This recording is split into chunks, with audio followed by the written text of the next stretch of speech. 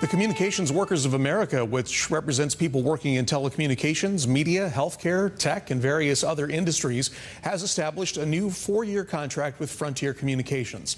Approximately 1,400 CWA represented workers are expected to receive a significant wage increase, and existing job security language will be preserved along with health and welfare benefits. The contract also has Frontier committing to the creation of new jobs and a long-term work at home, a long-term work at home agreement. A contract ratification vote will be held sometime in the coming weeks.